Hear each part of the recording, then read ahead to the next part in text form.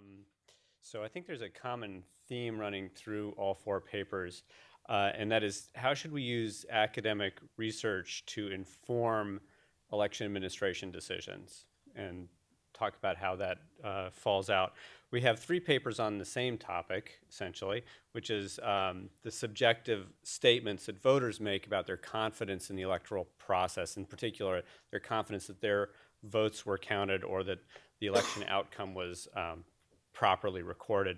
And we have a, a, separate treatise or beginning of a book by Walter on uh, vote counting and auditing. Um, the, the I, all three, uh, all four uh, works are well worth reading. Um, Walters is in the process, so it might be even the most rewarding read of all because it just stimulates a lot of thinking. And I have a few concrete suggestions. I'll first talk about Walter's work, and then I'll turn to the other three and make some general over, overarching comments. The, the first comment is that this, is, uh, this work is an important set of developments and an application of statistical techniques um, largely adopted from probability theory and accounting. Um, and it, it tries to grapple with the general question of how do you know what manipulated elections look like? Right? And I think it might be useful to flip that question on its head at some point in the book as well, which is how do you know what a clean election looks like? Right? So if you can answer both questions, both sides of the questions, you get a lot of leverage over the problem. And a lot of one of the things that Walter's pointing to is a lot of the times when a, stati a statistical technique such as Benford's law is applied to a, a election auditing or accountability, the obverse question is not asked. The question is how does an, a manipulate what does a manipulated election look like, but what is a clean election is never asked. And what Walter's suggesting is we could have a bunch of perfectly clean elections that look manipulated, but that's because the alternative hypothesis has not been thoroughly thought through by the researchers. And that's the way I would, I would sort of frame um, what Walter's up to. And really what he's pointing to is that the pure application of Benford's law is perfectly fine. And what Benford's law is, is suppose you start counting, one, two, three, four, five, six, seven, eight, nine, ten. Now look at your first digit, the zero, the, the digits in the one column. You got a zero, a nine, an eight, seven, a six, etc. Those are uniformly distributed, but you've got a one. So now keep counting. And the, Benford observed that if for any set of counted numbers, um, you get ones in the first digit a lot more frequently than twos, than threes and fours. And then also the second digit, he's also got another distribution. So it's just picking up what the distribution of no digits is in counted large numbers. So you can look at money, you can look at, and banks use these kinds of laws a lot, you can look at votes, you can look at all sorts of applications to see if there's something irregular. And what Walter's pointing out is that in the application of this concept to elections, the researchers have ignored the heterogeneity in elections. So you've got one precinct that's big and one precinct that's small, so the counts are going to be different fundamentally. And when, and when you start thinking about the politics underneath the heterogeneity, um, it's not clear what the clean election would look like and that the clean election would be distinguishable from the, the manipulated election. I think there's a, an important cautionary tale because there was a rush, especially after the 2000 election, there was a rush to apply a lot of these statistical and accounting tools to aggregates in uh, ill-informed and ill-advised ways. And I think this is a, a very sensible approach to this. I think Walter's missing like the first 50 pages of the book. Sorry, Walter. um, which is that uh, you know both of us do a lot of uh, uh, data collection in this domain, and um, what's missing is that part of the project, which is when you try to assemble election data, it's really difficult. Really painful. For those of you in the room who've done this, you know the experience things don't add up and so forth. I was just telling Walter about looking at the Mi Michigan reports and the count, the precinct level Michigan reports have every county has a little line that says statistical adjustment. It's like hmm. 400 votes. Like, what in the world is statistical adjustment in election data? We don't usually think of that occurring. And there are you know repeated stories about local election officials in the United States not being able to get the books to balance at the end of the day, not wanting to be audited, not wanting to be dragged before the Secretary of State, uh, or worse, a court. And so they just kind of make up some numbers to make sure everything adds up to 100%. We see that after the fact in going through these data. I think that piece of the project is incredibly valuable to document, you know, how did you how did you collect the data and so forth. And there's a lot of variation. Like in Spain, you can get not just the precinct level data, you can get the table level data, like several tables in a voting booth. You can get the table level data. It's pretty impressive um, what we can what we can look at. That first aggregation, I think, is actually our first check at the integrity of elections. Do things add up? Um, confidence and so forth is all very downstream if it matters at all by the time we get that far downstream. The real evidence about the integrity of elections in the US or elsewhere is does stuff add up? And Walter and I see repeatedly weird stuff, even in very sophisticated um, well-funded uh, uh, activities. And I think it would be very interesting to see a treat, an exposition of that in, at the beginning of the book. And you might come up with some very useful results for the rest of us to, to start to think about. In particular, um, putting on my uh, hat of someone who wants to make things work a little bit better, um, I think it would be very useful if Walter or someone out of the Caltech MIT project or out of our shop or, or out of any shop develop some very simple to use spreadsheets that any local county official or state official or government official in any entity could, could apply to make sure that their counts work that was separate from what was provided for, to them from their data vendor. Their data vendor provides them something data vendor has an interest in providing the counts, making sure the counts come out a certain way, but if there was an independent audit tool that they could just plug in the numbers and say, does this look kosher? That would be unbelievably useful to every election uh, uh, official. And I think it would be picked up um, fairly quickly. Um, there are a fair number of complications that would be worth discussing further, but um, I would also urge Walter to think about another linkage, and that's the link to the computer science literature. It's a very large, uh, very interesting computer science literature that's grown up since 2000 on the security of the vote. And it takes a very different approach. Rather than think about aggregates as aggregates, which is most of what Walter's work is about, they think about verifiability of an individual's vote. This is the great unsolved problem in every electronic system in the world. And voting is a terrific model to solve the healthcare auditability and records management system problem, the banking system and problem, and so forth. And that's why computer scientists like Ron Rivest, who is the R in RSA Securities, is interested in voting. Because if you can figure out how to secure a vote in a way that nobody else can tell how you voted, but you can tell whether your vote was counted and cast as you intended, which is the question that the other three papers pertain to, then you've solved the problem, right? Because any voter can make sure that the election tabulation worked properly and that their ballot was not destroyed and so forth. That's coming at it from the individual level. Walter's coming at it from the aggregate level. Uh, I'd, I'd, be very curious to see if there was any place where the two could meet or, where, or if we would know when the two met.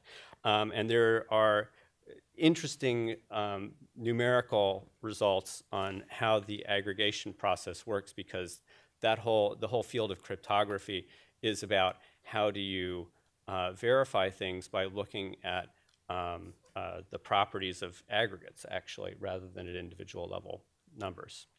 Let me turn to the papers on public perceptions um, and say first of all as someone who's written in this domain uh, a little too much um, that I'm very skeptical about the meaning of public perceptions. Um, and I think all three papers reflect the same skepticism. As soon as you start to dig into this, you, you come up with all sorts of problems and the questions of voter confidence, voter efficacy, and so forth. In fact, these questions go back to the 1940s. The American National Election Study has been asking about voter efficacy since the 40s, and it always shows up that the winners feel that their votes counted, feel that they mattered more, et cetera, even though all votes essentially count the same.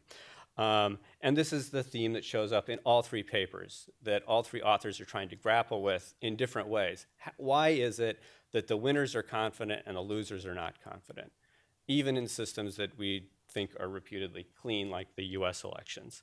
Um, and when we move out of the US context, what, is it, what do public perceptions mean? Um, in the US, we don't see uh, people going to the streets, which would be another form of public expression of uh, lack of confidence in the election outcome, but presumably that's the end point of a, a, loss of confidence. So in the comparative context, you might think of the loss of legitimacy as the extreme example of the lack, lack of confidence in elections. So surely there's some meaning to this. How do we, I think the problem is, how do you extract the meaning of lack of voter confidence that is tied to legitimacy and is not tied to sour grapes? Because the theme that runs through all three papers is there's a large chunk of sour grapes in the lack of voter confidence, and that's mainly what it is about. Um, I think there's a very good puzzle that Thad put his finger on, but it shows up in all three papers as well, um, which is why is it that the new forms of voting, such as electronics, such as absentee and early voting, seem to bring about less confidence, even though that's something in the case of absentee and early voting that the voters themselves are choosing to do. You have a choice between casting an early vote or going to the precinct in the case of Paul's paper, and yet people are casting an early vote and are unhappy about it. what is that about? Very puzzling, very odd. Um, I think that the last, uh, sort of my last comment on this is that the voter confidence debate really needs to be thought about in terms of specific language in the context of specific legal and legislative debates. The Crawford debate, which uh, each of you touched on, uh, was really about specific language about voter impersonation. That's what the court case was about. Were people going in and pretending to be someone else? Um, the language has been, that language has been captured by the left and the right in terms of voter impersonation versus voter disenfranchisement, and we see increasingly partisan polarized language around this. But it's all going to come back to us later this year uh, if the Supreme Court of the United States does violence to the Voting Rights Act and strikes down Section 5, because that's going to throw into question a large number of court cases that have already been decided in the last year and a half on voter identification and voter impersonation and security. And the fundamental question is going to be, where do we go next um, in the voter ID, voter um, integrity direction? And in particular, what happens to the Voting Rights Act in the United States and how might it be reconceived? All right. Great. Thank you. Uh, we have nine minutes uh, for Q&A, so we can open it up for a couple questions and then give the panelists a couple minutes to respond. Yes. Uh, yes, they're making.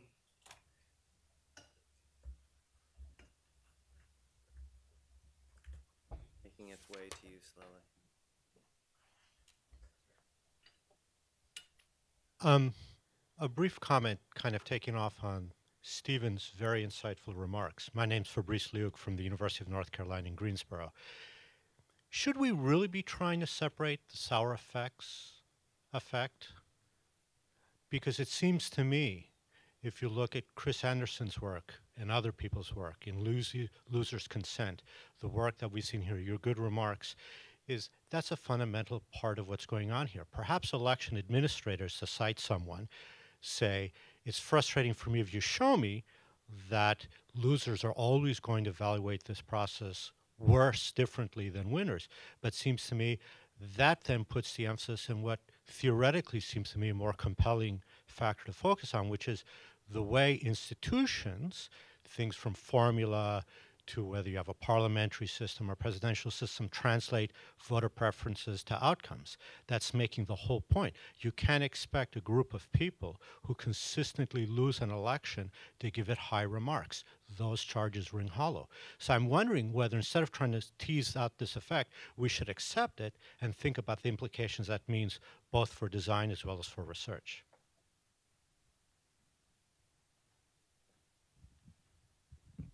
Leontine Loeber, Council of State of the Netherlands.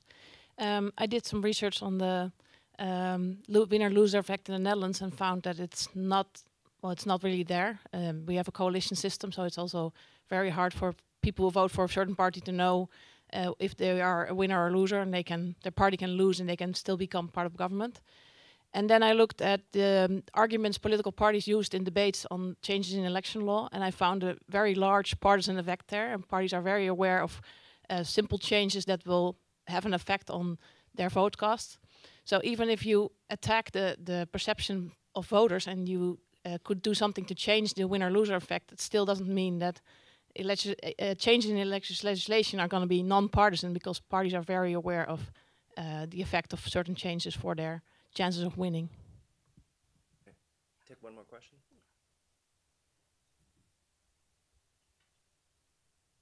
Hi there, I'm Fredrik Sjoberg, Columbia University. Um, on that last, I had actually a question to Walter, but but but on the question about uh, the perception of the confidence in the process and something that Thad brought up, I was just going to say that if you just simply compare uh, the fraud perception or the honesty of election uh, item on the Gallup World Poll uh, by electoral system, there's no difference in terms of electoral system. So it's not, it doesn't seem to be driven by a PR uh, uh, majority system. So I, I think the paper still needs to be written on, on, on that. And I know Pippa was presenting something last year on, on the very paradoxical patterns that you see in terms of these perceptions globally. But to Walter, uh, impressive uh, work as always.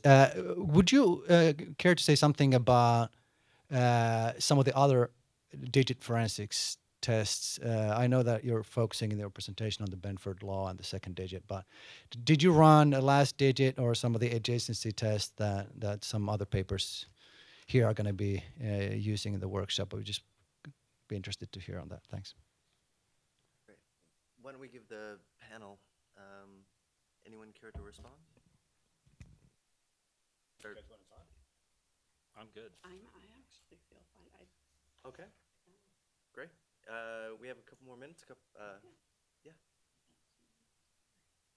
Uh, Nicholas Kerr, uh, Michigan State University. Uh, Paul and, and Thad, uh, really uh, respected the papers. I think um, you touched on some very good points, and I do work uh, linked to that in in sub-Saharan Africa.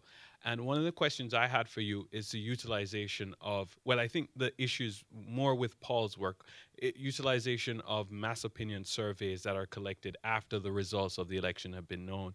And I'm wondering to what extent do you find that there's an endogeneity issue, where individuals uh, their evaluations of their experience of the election are linked to um, their uh, that winner loser effect, okay, and the outcome of the election, and how that is going to influence the uh, relationships that we see uh, uh, coming out with the data. Well, I, And, and so the 2000, the 2000 American National Election Study was in the field during the controversial recount. Up until the point where the courts resolved the matter, the parties were equally likely, Democrats and Republicans were equally likely to think it was fair. After the courts resolved the matter, Democrats overwhelmingly thought it was unfair, and Republicans overwhelmingly thought it was fair. I mean, we, I, I mean, I wouldn't call it an, an endogeneity. The reason that I took advantage of the pre-post structure of the CCES is precisely to try to tease out and separate the impact of winning and losing from something that may be independent of it. So that's why, because most of the items that have been asked up to now are asked after the election, and so precisely for the reasons that you point out. So, so you can demonstrate an impact. There's some residual effect, partisan differences that Thad referred to, but there's clearly an impact of whether your candidate won or lost. I, so I, you know, I I struggle with that. I mean, I, I, what do I say to Steve's comment? I completely agree with him, but, But right? I, well, I don't. I disagree with all my other colleagues who we can. I mean, you've seen this. Like you can pull it out. Fundamental measure of election performance. Absolutely critical measure of. of of the way the process operates. That is my concern, is that to the degree that these things are caught up with um, these kinds of effects about satisfaction with the eventual outcome. So what I would say to the first question is, it isn't a matter of teasing out. If we're scholars trying to figure out how these opinions move, okay, I'm completely with you. But if we're trying to improve election performance and we're speaking to a policymaker and we tell them, well, just to have non-competitive elections, uh, you know, that, I, again, I don't know what you have encountered in the comparative context having these kinds of conversations. The reason that it's a concern in the U.S. is, again, to return precisely for the reasons that Steve notes. Voter confidence measures is, was cited by John Paul Stevens in a Supreme Court decision. I mean, and if it's a bad measure, we need to know. And we need to know what moves it. because decisions are going to be coming down the line that are based on these items. So sure, I'm happy to have a conversation about what it means to trust the process, to have confidence in the fairness. But I've been engaged as an expert witness. I mean, I, I, I have to know how these things move um, because real changes are impacting real people's access to the ballot box every election. So I think we have to parcel it apart. Well, let me answer it also in a slightly different way, which is that there is research also in the U.S. context where people, instead of asking these survey questions like we do in the in the CCES, they do exit polling. So, for instance, there are people at BYU, Brigham Young University in the U.S., and I've worked with them where we do exit polling and you ask these types of questions. I mean, the problem there is, you know, it's just really costly to do that, right? And I don't have a, you know, I don't have two things. One, um, you know, it's hard to do something statewide or larger jurisdictionally, and secondly. Um, in the US context, we have a lot of people who vote absentee, or in the early voting context, then doing exit polling and early voting is very costly and so you you run into that difficulty but i do think you can get real you can get very rich data on the experience in a polling place and if you randomly select polling places in a jurisdiction you can get very you know high quality data and that so and then it becomes a question of whether or not countries let you do exit polling which I'm I'm I'm doubting Africa has lots of laws on exit polling. So. Yeah, I just want to say one thing in response to the question about last digits. Um, I haven't written that chapter up yet. Um, in Russia, which I also have to write up, uh, we use last digits of voter turnout, we being a grad student, Kirill Kalinin and I, in a series of papers. And we found that until the 2012 election, it was a great diagnostic of fraud tied to really large scale movements of public resources to buy votes. Um, he Kirill talked to people in the Russian government administration. They asked carefully about how our test worked and everything. And uh, in 2012, it stopped working. Um, it worked in 2011, not 2012. So there's a problem with the digit test. It's like all things; they find stupid embezzlers, basically. Um, in the Iranian case, um, it didn't work out too well for the last digit. The technical point is that with precinct level data, often the last digit is the second digit. And I think the second digit is dominated either by Benford's law or by whatever I'm studying generally. But I have to sort through my evidence to see exactly what I want to say about all of that in, in different countries. What's the impact on the Russian work? I mean, it seems like you've thrown a bomb into a book and a half and a bunch of papers that are that make arguments about fraud occurring no, we don't disagree. This, I mean, Mayakovsky and those guys. I agree that there's fraud. It's just a question of different tests.